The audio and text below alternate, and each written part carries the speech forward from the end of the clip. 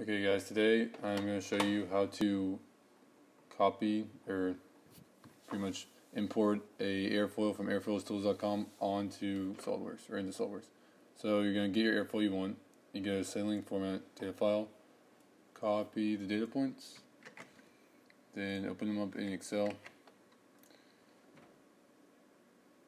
Once you open them in Excel, paste it, and we have to go to Data, and text a column to separate them. Um, and then you can push finish. And for some reason, messed up a little bit, but it's just this first, first coordinate. And now you want to delete this column, and you want to fill in your z column, z coordinates are zero. And once we have this, you're going to file, save as wherever you want to save it. Um, you want to make sure you save it as a text file. Um, so I think this is like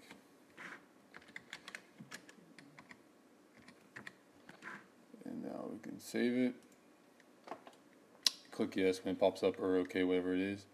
Um, now you're gonna go to SolidWorks, open up a part file, uh, your tools.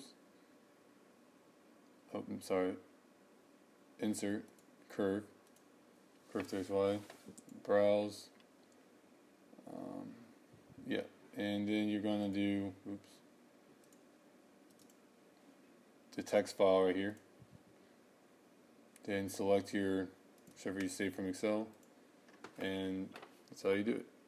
Oh, just kidding, it didn't work for me, but what I'm going to do now is just open up that text file whichever was wrong with it. And for some reason, mine's been a little janky, and I just need to move all my zeros over for that z coordinate for some reason.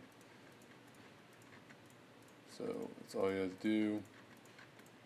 I don't know why mine has been doing this.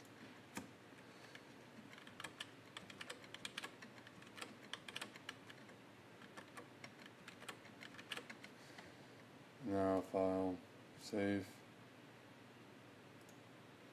Uh, so resave it. Now you can just go to browse,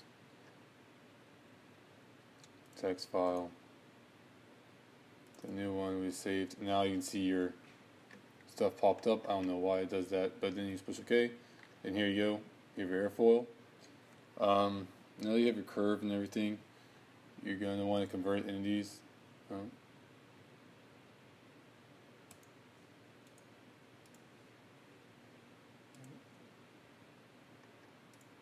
Sorry, I forgot to make a sketch.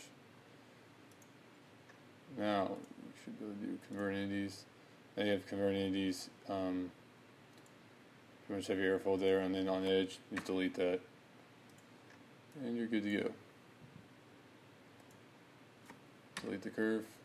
Oops. Or you can just hide it, whatever you want to do. But So there you go. And that's how we import airfoils into SOLIDWORKS. Um, and obviously, do all your other features from there. So, alright, thank you.